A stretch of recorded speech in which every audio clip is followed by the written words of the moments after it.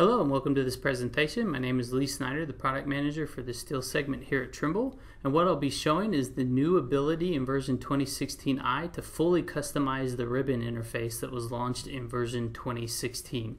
So here's the custom ribbon interface here. You can see that I have access to all of my uh, ribbon here through the design mode as you can see up here. And basically what I can do is just come in and begin to uh, delete, add, or modify any of these commands. So if I wanted to remove something from the ribbon, I can just highlight it and click on delete and that will instantly be removed. I have the ability to come in and add any Tekla structure command directly to the ribbon and place it where I want. I also have the ability to add anything in the applications and components catalog as well. So here if I came over to my drawings and reports and I wanted to rearrange some of this, maybe something was in the drop down and I wanted it just to be directly on the ribbon, I can come in and begin modifying this. So I can come in and click and drag this.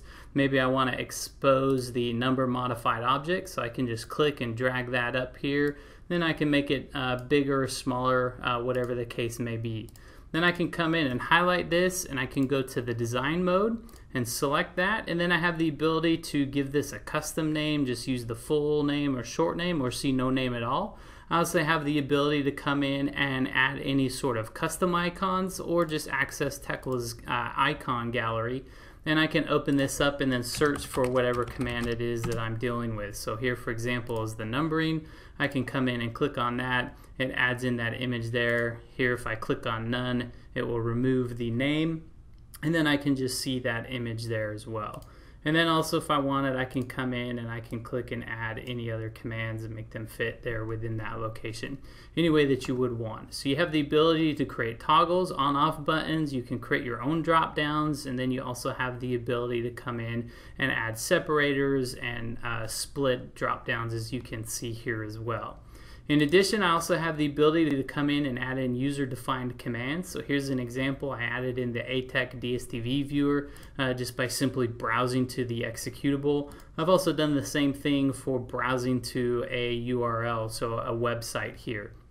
So back on the Edit Ribbons tab, I can come in and create any of my own tabs that I would want. So let's just say I call this My Favorites, for example. And then I can click and drag and position this anywhere that I would want it to go. Once I have that there, I can then simply just add commands to that. So for example, if I wanted to add in this ATEC command, I can just click and drag and position it right on that new My Favorites tab. And then going into the design mode, again, I can come in and I can change that image to whatever image I would want. So if I wanted to bring in their specific logo, I could do that and then I could toggle on or off the name uh, depending upon how I want to see it. And then what's really nice is I can come in and save these changes. I can easily reset the defaults. I can compare with what the changes were before. And then Tekla instantly knows that something's changed. I don't have to restart Tekla, so I can just click on yes. It will reload my ribbon to show me my new changes. So here's my favorites tab. There's the ATEC DSTV viewer that I have there. And then over here on the drawings and reports, you can see the changes that I made uh, to my numbering settings. Just another quick example here. This will uh, just save these in a file, an XML file that you can share with anybody in your organization. I'm just going to load in an example that I put together here. It'll instantly recognize that. I'll just click on yes for it to reload.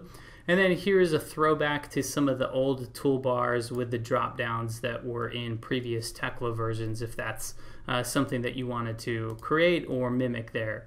We also have the ability to add in uh, quick launch icons up here as you can see that they'll just be stored there.